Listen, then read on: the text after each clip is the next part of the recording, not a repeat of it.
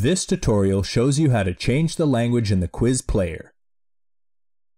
By default, all texts in the player are in English, but you can easily change them to any other language or simply customize the labels to say something else.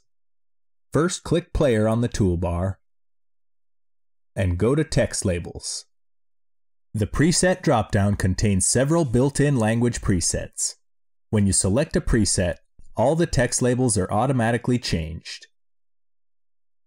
If you like, you can customize each text label. Go through all the items in the message column and change them. See here we have a Start Quiz button, so let's change it and see how it looks. The quiz preview here will behave exactly like a live quiz, so you can see all your changes instantly.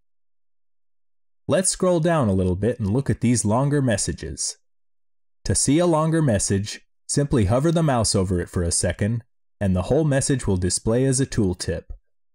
Some messages use variables enclosed in percent signs such as the number of points a student has scored. When you're translating messages to another language, we recommend you leave the variables alone so the correct information can be displayed. If you're using a right-to-left language, reverse the order of the variables so the message scans correctly.